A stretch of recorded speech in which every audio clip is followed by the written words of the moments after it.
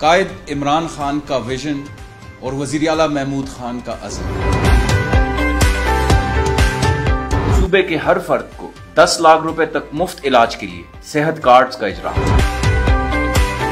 खैबर पख्तूनख्वा में कम आमदनी के हामिल खानदानों के लिए फ़ूड कार्ड्स का इजरा पाँच लाख से जायद छोटे काश्तकारों के लिए किसान कार्ड का इजरा ऐसे बहुत से दूसरे अवाम दोस्त और गरीब परवर मनसूबों की कामयाबी से इजरा के बाद। नौजवानों के लिए होने जा रहा है अब कुछ बड़ा, बल्कि बहुत बड़ा। वो भी बहुत जल्द, इंशाल्लाह।